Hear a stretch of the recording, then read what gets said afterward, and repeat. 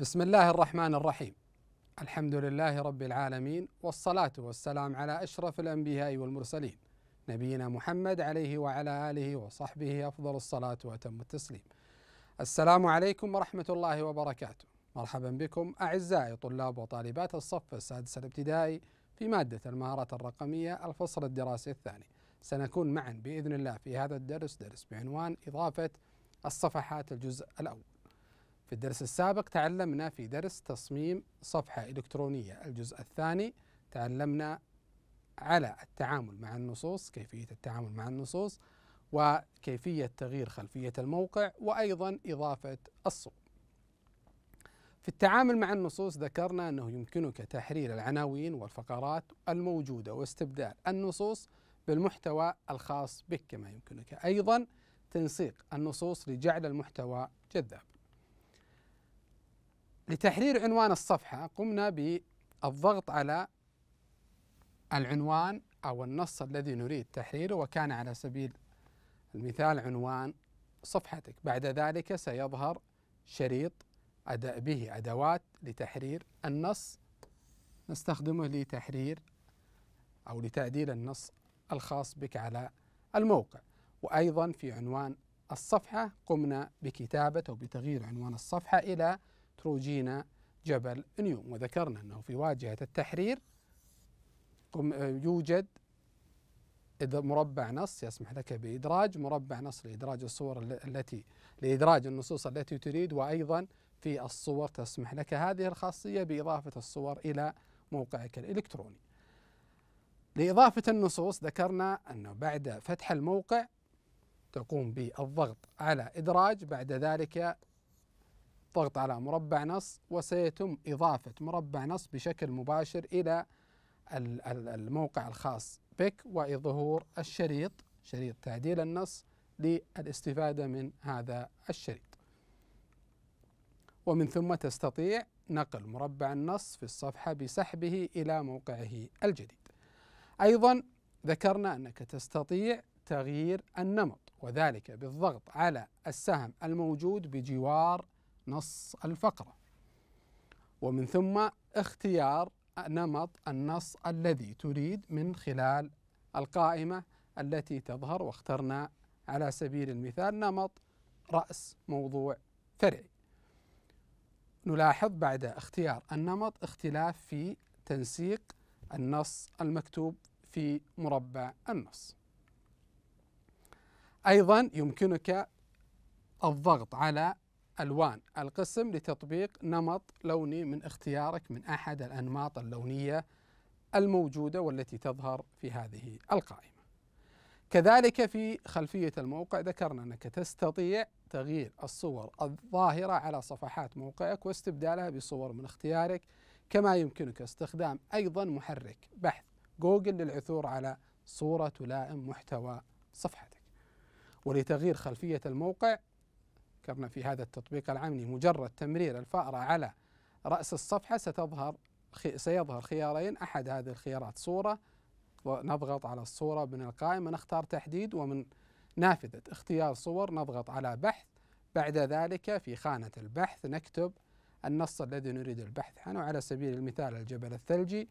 ضغط على أيقونة البحث ومن ثم اختيار الصورة التي نريد وبعد تحديدها نضغط على تحديد في أسفل الزاوية السفلية اليمنى. بالضغط على تحديد سيتم إضافة الصورة كما تلاحظ في خلفية الموقع وفي أداة المرساة الظاهرة تستطيع تثبيت الصورة في المكان الذي تريد وتستطيع الاطلاع على ذلك بالتعديل من خلال الموقع. أيضا قمنا بإضافة عناوين للفقرات أضفنا المزيد من المعلومات حول جبل تروجينا عن طريق إضافة العناوين والنصوص حيث أضفت مربع نص وعينت محاذاة النص إلى اليمين وغيرت نمط خط أو الخط إلى رأس موضوع فرعي لإضافة عناوين الفقرات من علامة التبويب. إدراج نختار مربع نص. بعد الضغط على مربع نص سيتم إضافة مربع النص بشكل مباشر إلى الموقع من ومن ومن شريط مربع النص أو من شريط تعديل النص نضغط على الثلاث خطأ الثلاث نقاط. الأفقية لإظهار المزيد ومن ثم نضغط على المحاذاة ونختار محاذاة إلى اليمين. بعد ذلك نضغط على السهم الموجود بجوار رأس الموضوع ونختار أحد الأنماط الموجودة وقمنا باختيار رأس موضوع. فرعي ومن ثم نقوم بكتابة النص الذي نريد في هذا الجزء وكان النص تعايش مع الجبل. أيضا قمنا بإضافة مربع نص ودمجه مع مربع النص الآخر. ضفت مربع نص وسحبته إلى مربع النص السابق حيث تم دمج مربعي النص في مربع نص واحد. لدمج مربعات النصوص من علامة التبويب إدراج قمنا بتحديد مربع نص بالضغط على مربع نص سيتم إضافة مربع النص بشكل مباشر إلى الموقع. بعد ذلك نقوم بسحب مربع النص الجديد وإفلاته في مربع النص السابق. ومن ثم نقوم باختيار نص آه النمط نص عادي والمحاذاة نقوم باختيار المحاذاة إلى اليمين. بعد ذلك نقوم بكتابة مربع كتابة النص الذي نريد في مربع النص الجديد والذي سيظهر ككتلة نصية واحدة مع مربع النص السابق ككت بعد دمجهم مع بعض. أيضا أضفنا صور تتناسب مع النص المضاف ولإضافة الصور ذكرنا أنه من علامة التبويب إدراج نقوم باختيار الصور ومن القائمة التي تظهر نضغط على تحديد بعد الضغط على تحديد ستفتح نافذة اختيار الصور ومن نافذة اختيار الصور نضغط على صور بحث جوجل وذلك لفتح موقع جوجل وكتابة النص الذي نريد البحث عنه وليكن على سبيل المثال السير على الجبال المغطاة بالثلوج. بعد الضغط علامة كتابة النص والضغط على أيقونة البحث سنختار أحد هذه الصور. بعد ذلك نضغط على علامة على أيقونة إدراج وسيتم إدراج الصورة بشكل مباشر إلى موقعك الإلكتروني. تستطيع أيضا تغيير حجم الصورة وتغيير موقعها من خلال سحب الضغط على الصورة وسحبها وإفلاتها في أي مكان تريد. وأيضا بعد الضغط على الصورة ستلاحظ ظهور مقابض لتغيير حجم الصورة على أطراف الصورة. تستطيع استخدام هذه المقابض لتغيير حجم الصورة. سنتعلم في هذا الدرس درس بعنوان إضافة الصفحات. الجزء الأول أهمية تعدد الصفحات في الموقع الإلكتروني كذلك إنشاء الصفحات الإلكترونية وتخطيط الصفحة. هل تحتوي المواقع التي زرتموها على صفحة واحدة أم صفحات متعددة؟ ولماذا؟ أي موقع إلكتروني قمت بزيارته هل يحتوي على صفحة واحدة أو صفحات متعددة؟ ولماذا يحتوي على ذلك؟ أهمية تعدد الصفحات في الموقع الإلكتروني. من المهم أن يحتوي الموقع الإلكتروني الخاص بك على العديد من الصفحات أو على أكثر من صفحة لأسباب عديدة. أول هذه الأسباب التنظيم. يتيح لك وجود صفحات إلكترونية متعددة تنظيم المحتوى الخاص بك بطريقة منطقية ومنظمة مما يسهل على الزائرين التنقل في موقعك والعثور على المعلومات التي يحتاجون إليها. السبب الثاني تحسين تجربة المستخدم، يقضي الزائرون وقتا ممتعا أكثر على الموقع الذي يحتوي على صفحات إلكترونية متعددة، يمكنك تقديم المحتوى الخاص بك بطريقة أفضل من خلال عرضه بشكل منظم وجذاب في صفحات متعددة. أيضا المرونة تسمح لك الصفحات الإلكترونية المتعددة بتجربة تخطيطات وأنواع مختلفة من المحتوى يمكنك إنشاء صفحات متخصصة لموضوعات أو فئات محددة.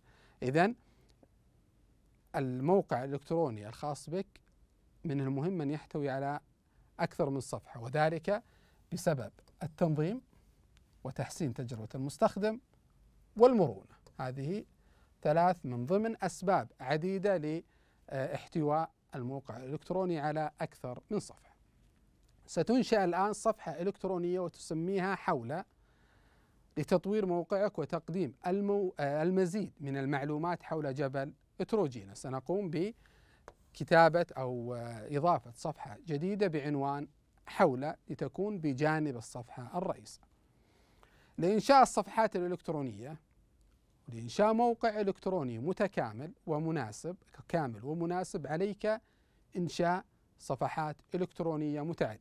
وهنا يمكنك إنشاء صفحة إلكترونية لتقديم بعض الأنشطة التي يمكن القيام بها في جبل تروجين. لإنشاء صفحة في الموقع الإلكتروني الخاص بك.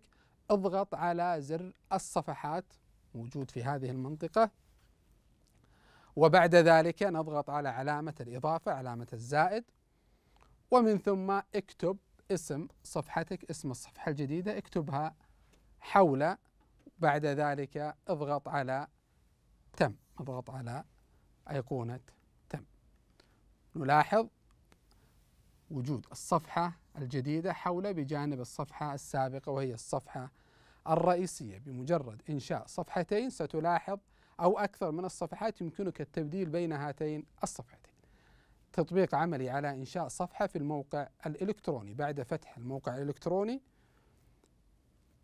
في علامة في علامة توبيب الصفحات نضغط على علامة زائد ونكتب عنوان الصفحة الجديدة على سبيل المثال حوله نضغط على تم ونلاحظ وجود الصفحة بجانب الصفحة الرئيسة لحذف وإضافة العناصر ستضيف في الصفحة الإلكترونية معلومات حول الرياضات والأنشطة المتوفرة في جبل تروجينا. أولا سنقوم بإزالة مربع النص الافتراضي الذي تحتويه الصفحة الإلكترونية ثم سنضيف مربع نص جديد. لحذف وإضافة العناصر نحدد مربع النص. بعد ذلك نضغط على زر إزالة ومن ثم نختار مربع نص في علامة تبويب إدراج وسيتم إدراج مربع النص بشكل مباشر إلى الموقع الإلكتروني. في التطبيق العملي على إضافة وحذف العناصر نحدد النص الذي نريد حذفه. بعد ذلك نضغط على زر إزالة ريموف وسيتم حذف هذا العنصر. ونستطيع أيضا إضافة مربع نص من خلال إدراج. إضافة مربع النص ونقوم بكتابة النص الذي نريد إلى هذا المربع باختيار المحاذاة وأيضا نمط النص الذي نريد ونقوم بكتابة باستخدام لوحة المفاتيح لكتابة النص الذي نريد. في تخطيط الصفحة تكون بعض لبنات المحتوى ثابتة في موضعها وتتضمن الصور والنصوص. يمكنك استخدام تخطيط الصفحة لتوفير الوقت إذا أردت تعيين تنسيق محدد للموقع الإلكتروني الخاص بك. عند إضافة وحدات المحتوى إلى الصفحة الإلكترونية يتم تحديد موضع الصورة والنص سابقا ولا يمكن نقلهما أو إعادة ترتيبهما بسهولة. ولكن يمكنك تخصيص النص والصورة داخل مجموعة المحتوى لتلائم احتياجك. بما فيها تغيير الخط واللون والحجم ومحاذاة النص بالإضافة إلى تعيين موضع حجم الصورة. نلاحظ هنا في التخطيط في وحدات المحتوى هنا مربع النص وهنا موضع الصورة في كل مخطط من المخططات أو من الوحدات الموجودة. لاختيار تخطيط الصفحة نضغط على زر إدراج. بعد ذلك من قسم الوحدات وحدات المحتوى نسحب المخطط الذي نريد ونفلته في الموقع. نلاحظ في اختيار تخطيط الصفحة في التطبيق العملي نضغط على إدراج وفي جزء وحدات المحتوى نقوم باختيار المحتوى الوحدة التي نريد ونقوم بسحبها وإفلاتها في الموقع. نلاحظ وجود أربع صور في هذه الوحدة. نقوم نستطيع إضافة الصور والنصوص إلى هذه الوحدة بعد أن أضفت تصميمك الخاص يمكنك إضافة الصور والنصوص. هذا التصميم مثالي لإضافة أربع صور للأنشطة وعنوان لكل منها. لإضافة الصور نقوم بالضغط على رمز الإضافة علامة الزائد. بعد ذلك من القائمة التي تظهر نضغط على تحميل. بعد الضغط على تحميل نضغط على مجلد الصور ومن ثم بعد فتح مجلد الصور أو المكان أو الموقع حفظ الصور في جهازك نقوم باختيار الصورة التي نريد وعلى سبيل المثال زلاقة الجليد الآلية ثم نضغط على فتح وستلاحظ إضافة الصورة مباشرة إلى الموقع الخاص بك. بعد إضافة جميع الصور والنصوص في الصفحة الإلكترونية حوله ستبدو صفحتك كالصورة الواضحة أمامنا لتغيير لون النص حدد واستخدم تلوين النص. نلاحظ في التطبيق العملي لإضافة الصور والنصوص بعد فتح الموقع نضغط على علامة إضافة الصور ومن القائمة نضغط على تحميل. بعد ذلك نقوم باختيار المكان أو موقع حفظ الصورة على الجهاز. على سبيل المثال الصور ونختار زلاجة زلاقة الجليد الآلية بعد ذلك نستطيع إضافة الصورة الثانية والصورة الثالثة والصورة الرابعة وإضافة النص الذي نريد في أسفل هذه الصور. نصل إلى تقويم الدرس. من المهم أن يحتوي الموقع الإلكتروني الخاص بك على أكثر من صفحة. لماذا؟ لثلاث أسباب ذكرناها في بداية الدرس.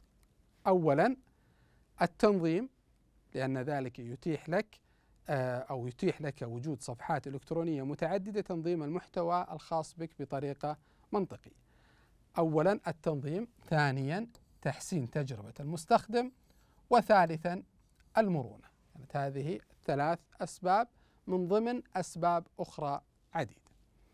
في هذا الدرس تعلمنا في درس إضافة الصفحات الجزء الأول أهمية تعدد الصفحات في الموقع الإلكتروني وإنشاء الصفحات الإلكترونية وتخطيط الصفحة. شكرا لكم على حسن الاستماع والمتابعة. والسلام عليكم ورحمة الله وبركاته.